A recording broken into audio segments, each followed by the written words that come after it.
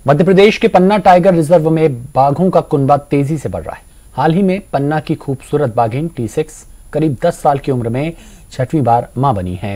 इस बाघिन ने चार शावकों को जन्म दिया है। ये शावक अपनी माँ के साथ घास के मैदानों में अटखेलिया करते हुए कैमरे में कैद हुए हैं। सभी नवजात शावकों की आयु दो से तीन माह बताई जा रही है। ये तस्वीरें सामने आने के बाद से पन्ना टाइगर रिज़र्व प्रबंधन में खुशी का माहौल है।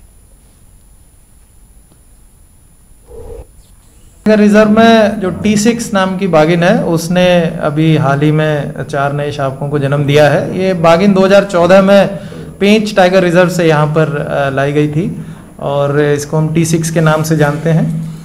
सभी शावक जो हैं, वो स्वस्थ हैं। करीबन दो से तीन माह के शावक हैं, जो अभी हमारे द्वारा उनकी फ़ोटो ली गई है।